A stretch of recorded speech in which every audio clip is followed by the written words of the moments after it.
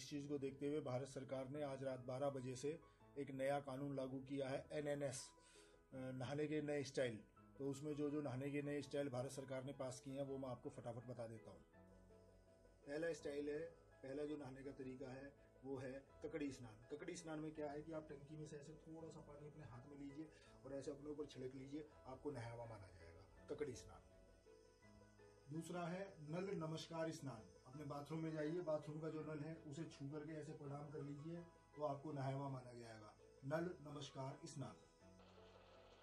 तीसरा जो है, वो है जल स्मरण स्नान। आप अपनी रजाई में बैठे बैठे आँखें बंद कीजिए और अपने नहाने को याद कर लीजिए, आपका नहाना माना जाएगा। जल स्मरण स्नान। और चौथा और सबसे अंतिम, लेकिन सबसे प्रमुख जो स्नान है, वो है त्वम स्नानम, मम स्नानम। इसमें क्या है कि किसी भी नहाए हुए आदमी के पास जाइए, उसे छू लीजिए छू कर कहिए त्वम स्नानम, मम स्नानम तो आप भी नहाए हुए माने जाएँगे। तो इस प्रकार ये नहाने के चार फार्मूले मैंने आपको बता दिए हैं। बिल्कुल भी परेशान ना हो, इनमें से जो भी फार्मूला आप यूज़ कर सकते हैं, यूज़ कीजिए और इस सर्दी का आनंद लीजिए। जय श्री राम।